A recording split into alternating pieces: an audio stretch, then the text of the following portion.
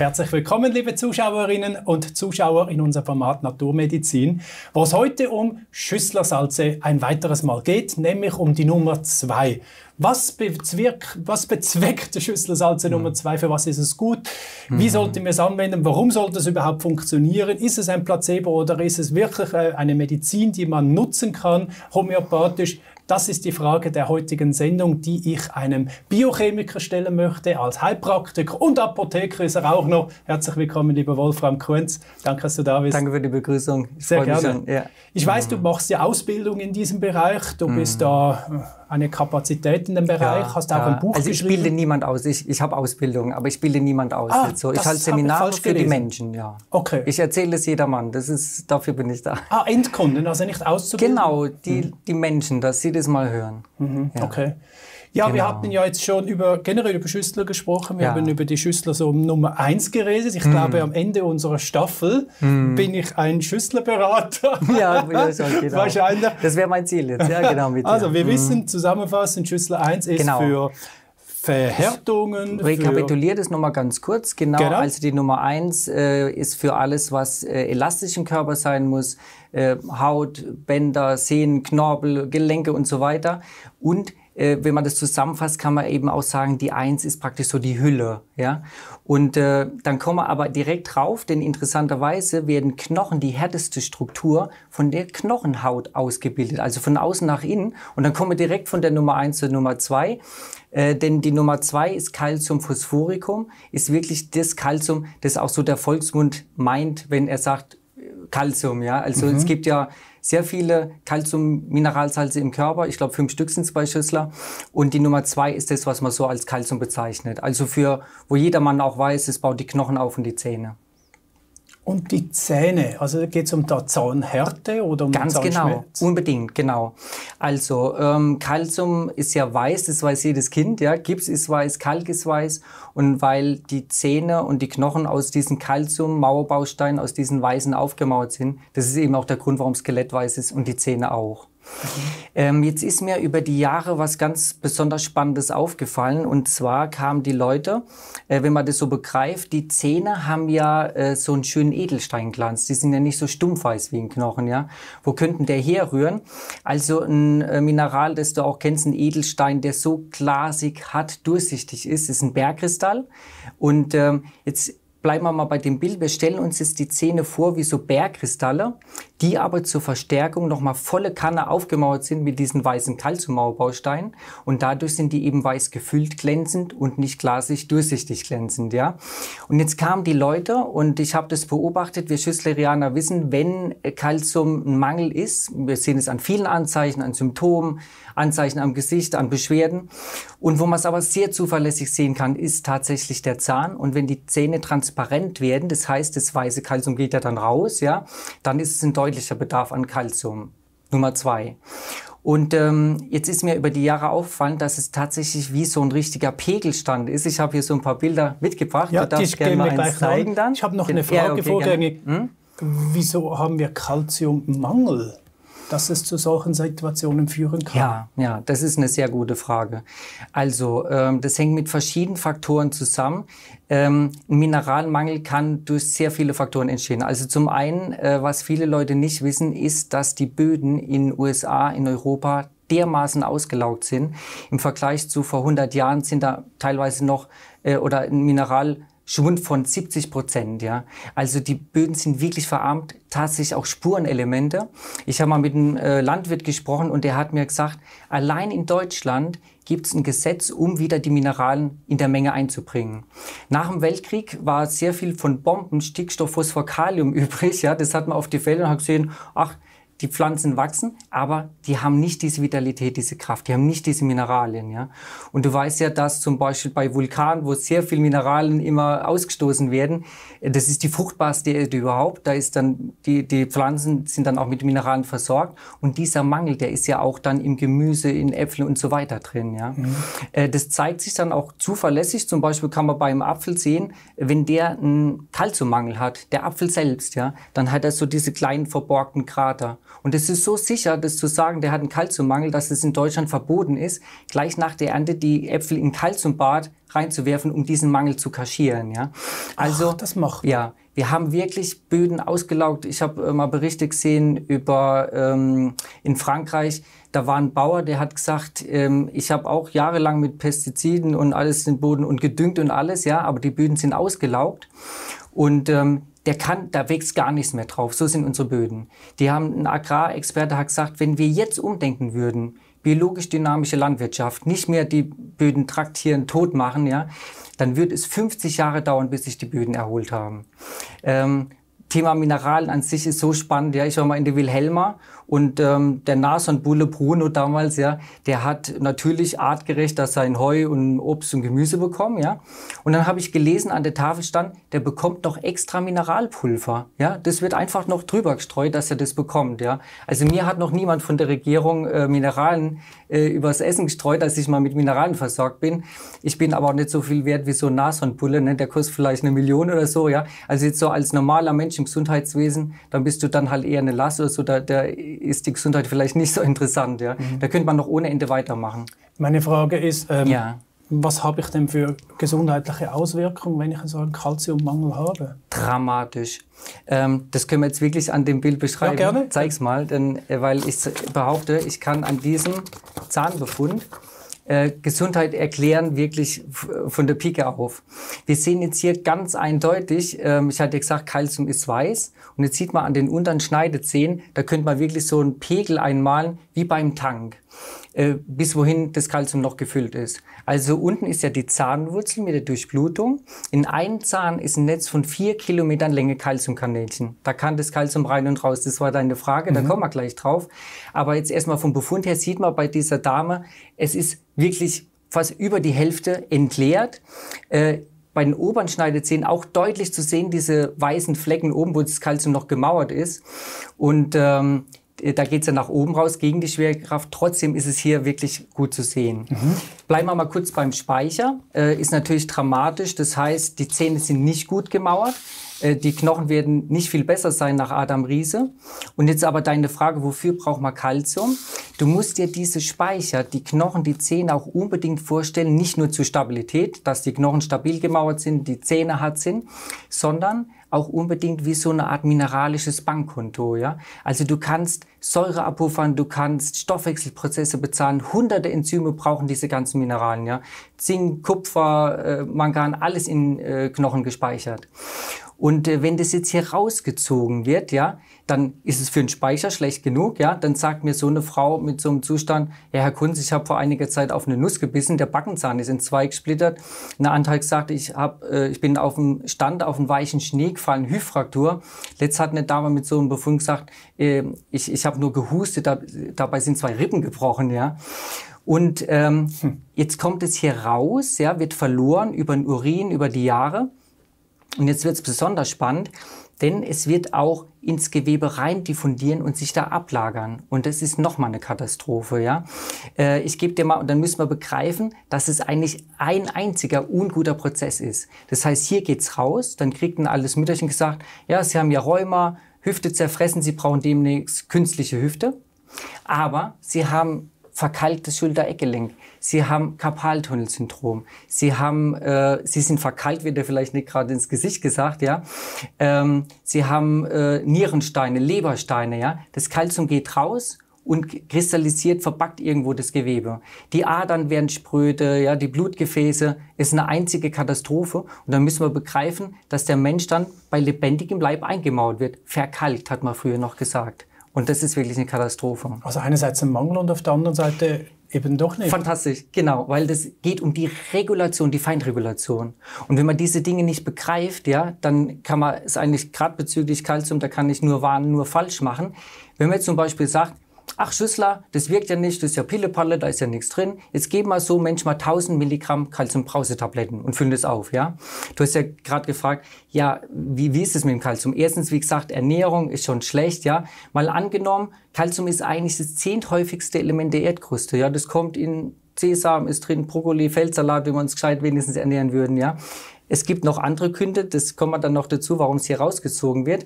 Aber der Mangel ist einfach da, ja. Und wenn du jetzt so Menschen ähm, 1000 Milligramm Calcium-Brausetabletten gibst, ja, mit Entschuldigung, schlappen 400 internationalen Einheiten Vitamin D, das sind Tropfen auf einen heißen Stein, ja. Was würde passieren? Es würde das gleiche passieren, wie wenn du ein Haus bauen willst. Du hast so ein kleines Mäuerchen gebaut. Jeden Tag kommt ein Kipplaster und wirft dir en masse Calciumbausteine aufs Grundstück. Das Mäuerchen geht noch kaputt. Du hast so einen Berg Schotter im Garten liegen. Das wird nie ein Haus. Schüssler bedeutet feinste Regulation. Und wie du gesagt hast, da kommt es drauf an, da spielt sich Gesundheit ab, ja. Im Speicher sollen, die sollen gefüllt sein, ja, wie volles Konto. 99,6 Prozent vom Kalzium soll in Knochen in Zähnen sein und lächerliche 0,1 Prozent im Blut und da ist es eben nicht Baustoff, wo es Knochenzähne aufbaut, aufmauern, sondern Funktionsstoff. Diese Unterscheidung stammt von Thomas Feichtinger, der die moderne Biochemie begründet hat. Das ist eine ganz tolle Unterscheidung. Und diese Funktion, das reicht bei Calcium, äh, Muskelkontraktion, ähm, Nervenerregungsleitung. Wenn du Adrenalin ausschüttest, brauchst du Calcium dazu. Also Calcium ist universell für ganz viele Stoffwechselprozesse. Also auch Leute, die Energiemangel haben? du nimmst mir die Worte also ja. fantastisch, wie du mitgehst, genau, weil ähm, das ist mir dann eben auch aufgefallen bei diesem Zahnbefund, dass Leute, wenn das so bei der Hälfte war, ja, der Stand, ne, wie, wie so ein halber Tank, ja, dass die dann der erste Satz, wenn die reinkamen, sagen die, Herr Kunz, ich bin so müde, so schlapp, ich habe keine Energie. Und dann habe ich gedacht, hey, ich habe ja selbst das Bild gehabt, das ist wie so ein Kalziumtank, wie ein Benzintank, wenn der halb voll ist. Ich will von hier nach Hamburg fahren, dann muss ich unterwegs raus tanken, Energie tanken. Ja? Und genauso ist hier auch. Das sind energetische Konzentrationsgefälle und das muss der Körper praktisch gegen Grundphysik anschieben, die über tote Materie herrscht. Stell dir vor, du hast äh, hier ein Konzentrationsgefälle 99,6 Prozent und hier 0,1 Prozent. Ja? Was würde passieren, wenn wir tote Physik wären? Dann würde sich das hälftig ausgleichen. Das würdest du nicht überleben. Ja? Weil, ich sage zum Beispiel, Kalzium macht Muskelkontraktion. Also ich kann Sport machen, äh, Power, mich bewegen mit 0,1 Prozent Kalzium. Das kommt ich setze es frei aus dem Knochen, aus den Zähnen, kommt ans Blut, kommt an Muskel und reizt es zur Kontraktion. Und der Kalzium würde ich echt verkrampfen, wenn das nicht ausgeglichen würde mit Magnesium, dann kann ich mich fein koordiniert bewegen. Und wenn jetzt das Kalzium verloren wird, dann hast du mal nicht 0,1 Prozent, 0,2. Das sagst du, das ist ja immer noch lächerlich wenig. Das ist aber schon doppelt so viel wie physiologisch vorgesehen. Dann haben die Leute schon Nackenverspannung. Dann hast du schon Wadenkrämpfe, ja. Äh, Kalt, also ein, Krampf, Wadenkrampf, ja, Kalzium, da bist du ja. So, so ist es. Du merkst einfach über, wo es zieht. Auch Grundverspannung. Ja, wenn Leute, die sagen, ich gehe zum Physiotherapeuten und der sagt, ich komme ja gar nicht durch bei Ihnen. Wo kommt er nicht durch? Bei diesem Schildkrötenpanzer, so verspannt sind die, ja. Oder die sind so verspannt, die sagen, ich bin am Einschlafen und auf einmal beim Schlaf entspannt dieses, diese Grundverspannung, ja. Und dann ist es wie wenn ich fallen würde, ja, und wach davon auf, wie als würde ich ins Nichts fallen. Das ist, weil dann diese Verspannung natürlich auch psychisch gelöst wird. Und diese, ich hatte es ja schon bei der Nummer eins gesagt, diese Verbindung jedes Minerals mit der Seele, die ist so faszinierend. Also das darf man sich nicht vorstellen, dass der Körper das nicht mitbekommt, wenn hier die Knochen bröseln. Du hast für alles Messsysteme, ja. Wenn hier die Wände von dem Haus stabil sind, fühlen wir uns wohl. Wenn jetzt hier was von der Decke fällt, von der Wand, dann kriegen wir Panik. Und genau das Gleiche passiert psychisch, wenn die Menschen hier bröseln, ja. Der Körper misst es, der sagt, Mädle, hier, wenn du bei lebendigem Leib bröselst, ja, das ist ein sehr unguter Zustand. Das spürst du, dann wirst du unsicher. Das Kalzium wird rausgelöst, kommt zu viel am Herz vorbei. Und was macht's? Es macht Muskelkontraktion. Das Herz ist auch. Dann hast du Herzrasen. Das macht direkt Panik, Angstattacken. Dann gehen die Leute zur äh, Medizin und machen Langzeit-EKG. Und dann sagt der Arzt, Ihr Herz hat nichts, der Motor ist okay. Ja, lieber Professor, das ist nicht der Motor, sondern um im Bild zu bleiben, das ist die Düse mit der Feineinspritzung. Das muss fein reguliert sein, ja. Und wenn das zu viel, zu wenig kommt, da ist kein geregelter Kalziumstrom möglich. Und dann wird es eigentlich immer dieses Herzrasen machen. Und das ist allein schon äh, Angst- und Panikattacken. Es ist ein Parademittel wirklich, um äh, solche Dinge auch anzugehen. Mhm. Ich möchte nochmals das Bild mhm. von vorher zeigen. Ja. Ganz kurz in die Kamera. Da sieht man es nochmal? Switche genau. jetzt ja. zum nächsten Bild, wo die Dame, jetzt nehme ich mal an, Schüsselsalze 2 genommen hat. nee, Und noch nicht. Das sind nur nicht? alles Erstbilder. Man darf keine Vorher-Nachher-Bilder zeigen. Ah. Das ist verboten. Ja. Ach, ja, ja. Okay. Also man darf nur Befunde zeigen, aber mhm. ich kann dir sagen, es füllt sich auf. Also ich kann es mhm. aus eigener Erfahrung sagen. Hat das eine andere Person? Ja, das ist eine andere Person, genau. Gut. Ähm, vor Schüssler waren so meine Zahnhälse sehr empfindlich wenn ich mit der Zunge drüber bin, das war so rau, das war, ich wusste kaum, wenn ich Zähne putze, tut's weh, wenn ich nicht putze, also das war so weich, ja. Und jetzt mit Schüssler, das sind richtig breite, glatte Rutschbahnen geworden. Ich weiß, dass es funktioniert. Also du mhm. kannst mit Schüssler wirklich Knochenzähne aufbauen. Also meine Zähne sind auch komplett gefüllt, gell. Ich kann es in die Kamera halten, also das, das funktioniert. Okay. Wie lange mhm. haben die Personen das genommen? Also um solche Speicher aufzufüllen, musst du sagen, das dauert wirklich lange. Ähm, das kam mal eine Frau, die war nach 100 Tagen top zufrieden, Aufgabenstellung. Und dann habe ich gesagt, Herr Kunz, Sie haben gesagt, die Zähne füllen sich auch auf. Und dann habe ich gesagt, das war damals noch sehr am Anfang meiner Ausbildung, habe ich gesagt, keine Ahnung, es funktioniert, machen Sie weiter. ja. Mhm. Und dann kam die nach eineinhalb Jahren und hat gesagt, Herr Kunz, Jetzt ist ein Punkt erreicht, es läuft wie weiß die oberen Schneidezähne, wie ein Schlieren an der Fensterscheibe läuft weiß rein. Äh, dann kann man im Nachhinein sagen, hat es wohl eher mal die Knochen aufgefüllt. Eine Hüftfraktur zu verhindern ist sehr wichtig und dann vielleicht erst die Zähne. Meine Tochter war ja beim Zahnarzt ja. und hat dort die vier oder fünf verschiedene so Schüssler Salze gekriegt, Toll. Gut, ja. äh, wo sie jetzt mhm. regelmäßig nehmen muss. Und jedes Mal, wenn sie in der Praxis ist, muss sie es noch mhm. mit dem Zelltuner befelden. Ja, das ist toll, ja, natürlich. Kannst du da mal etwas erzählen, was da gemacht wird? Ja, da haben wir auch schon einen konkreten Fall, wie fantastisch die Kombi Schüssler und ähm, der Zelltuner ist. Ähm, wir haben ja viele Kunden, die uns vertrauen, auch so. Jetzt kam äh, eine Kundin, die hat gesagt, ja, ich möchte es mal ausprobieren in der Heilpraktikerpraxis mit dem Gerät. Äh, ich mache es dann so, ich gebe ähm, die Schüssler-Mischung jetzt, ähm, also die, die hatte Zahnbeschwerden, ja, Implantate, die ganzen Geschichten, äh, Wurzel vereitert. Sie hat gesagt, seit zwei Wochen spritzt der Arzt rein, Desinfektion, es wird nicht besser, Schmerzen höllisch, ja, richtig geschwollen. Ähm, dann hat sie, ich habe ihr die Mischung gemacht, also das Wasser die Schüsslermischung rein gegen Entzündung, Schwellung für die Zähne, Zahnaufbau.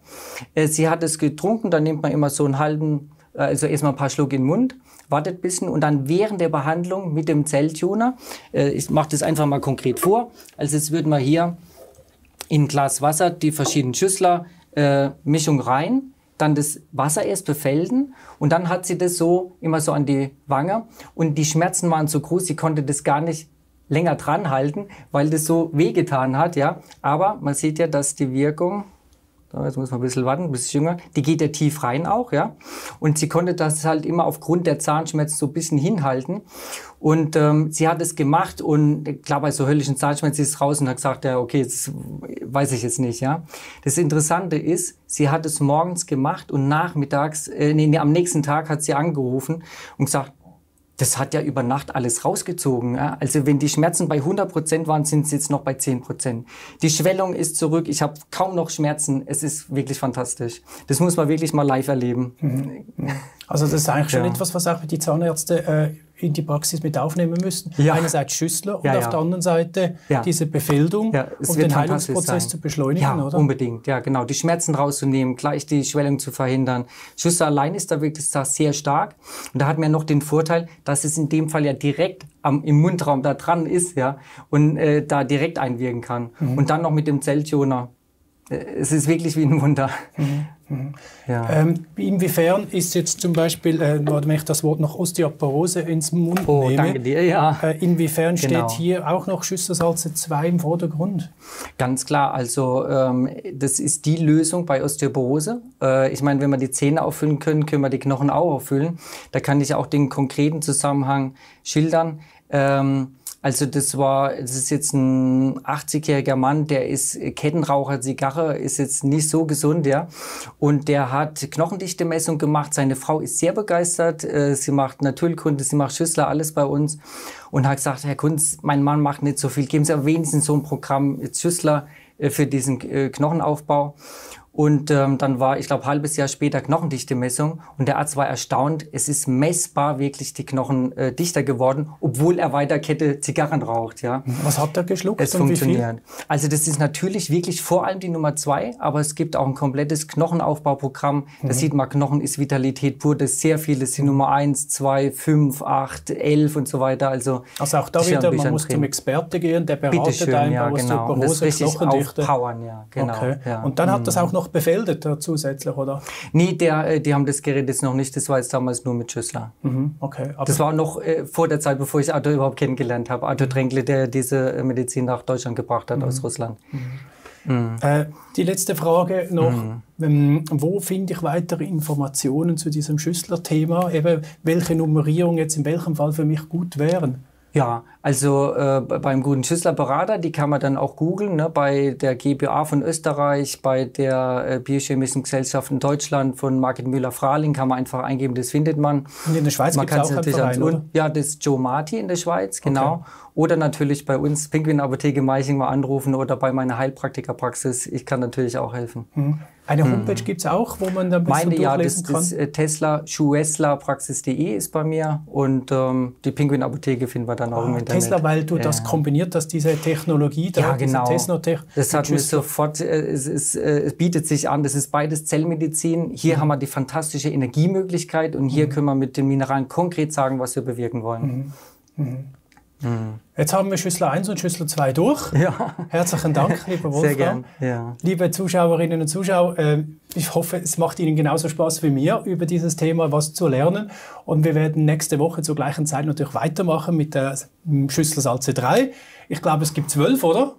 Zwölf klassische Aha. und inzwischen geht's bis 33 und Thomas Feichtinger aus Österreich wird, ist dran, da werden bestimmt noch fünf, sechs, sieben kommen.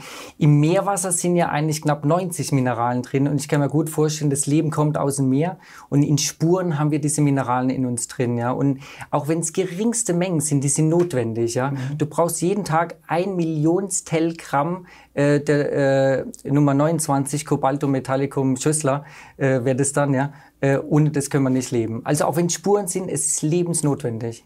Spannend, genau das habe ich mal kürzlich gelesen, dass, das, ah. dass die Mineralien im Meer exakt unseren Mineralien im Blut übereinstimmend ist. Also man kann sagen, dass äh, wir sind ja praktisch Ozean, ja, wir kommen aus dem Meer und du kannst es genau sehen, dass zum Beispiel das Fruchtwasser nahezu die gleiche Zusammensetzung hat wie Meerwasser. Wir sind praktisch äh, Wasserlebewesen, die sich entschieden haben, an Land rumzulaufen. Wir haben das Meer mitgenommen. Mhm. Und der Zellzwischenraum, äh, wenn du sagst, die Zelle ist früher im Meer geschwommen, da war das Meer außenrum. Wir haben das Meer jetzt mitgenommen. Ja, alles ist salzig. Tränen, äh, Blut, Urin sind salzige Flüssigkeiten. Wir sind Meereslebewesen, wenn du so willst ein Wandel des Meeresaquariums, sagt der Wasserforscher Francisco Sanchez. Und dann siehst du, wir haben das Meer mitgenommen und im Zellzwischenraum ist praktisch Meerwasser mit der Konzentration mal 3,5. Also es ist äh, noch konzentrierter wie Meerwasser. Es ist klar, Meerwasser und die Konzentration mal 3,5, das ist der Zwischenraum, mhm. die, die Flüssigkeit hier. Wir sind salzige Lebewesen. So spannend. Meereslebewesen. Unglaublich spannend. Atlantia. ich habe gerade noch eine Frage. Und zwar hast du mal gesagt, eben die Schüsselsalze kann man schlucken, aber in einer mhm. Apotheke wie bei euch kann man das eben auch als Tropfen haben oder als Salben. Also eigentlich kann genau. ich jede Mischung haben von einem Apotheker, ja, wunderbar, der genau. mir das als Salbe macht. So ist es. Die okay. Schüsselsalben sind wirklich überzeugend, selbst bei Menschen, die nicht an Schüssler glauben, Homöopathie, ja, ähm, die sagen, ah, wir haben von euch gehört, ihr macht da diese Warzensalbe oder ihr macht da die Salbe oder Restes Leck Salbe. Wir haben eine Oma, die, äh, die nimmt nur die Schüsselsalbe bei Restes Leck. Kennst du dieses Kribbeln, wenn die Leute sich bewegen müssen da, ja, und kommt damit klar. Ich habe gesagt, ich soll doch mal innerlich Schüssel eine Kur machen. Nee, nee, die schmiert sie abends vom Fernseher drauf, das reicht ihr dann, ja. Also es, es okay. wirkt einfach. Gibt es ja. irgendeine mhm. von diesen drei Möglichkeiten, wo am wirkungsvollsten ist? Weil das ähm, ist ja oral, das kann ja, ich unter die Zunge also legen. Schüssler, ja, danke. Schüssler wirkt eigentlich immer. Äh, du kannst wirklich auch eine systemische Schüsslerwirkung, systemisch heißt auch einen ganzen Körperbetreff mit Salben erzielen, weil es ja reinkommt ins Gewebe. Du hast natürlich die fantastische Wirkung direkt da, wo du es hast. Aber die Powerprogramm ist schon innerlich Schüssler mal lutschen, über die Mundschleimhaut kommt ins Blut, wirkt für den ganzen Körper. Man kann aber auch wunderbar Schüssler Beta machen. Ein Fußbad, ein Vollbad. Du wirst Schüssler einfach was weiß ich, 20 Tabletten Nummer 10 mal rein, ja, zur Entgiftung oder sowas, ja. Und du kannst es auch wunderbar über Beta mit der Haut machen, über Fußbeta auch. Mhm. Mhm. Super. Also herzlichen Dank, lieber sehr Wolfram. Gern, sehr gern. Ihnen, liebe Zuschauerinnen und Zuschauer, wünsche ich alles Gute. Danke fürs Zuschauen. Bis ein anderes Mal und auf Wiedersehen miteinander.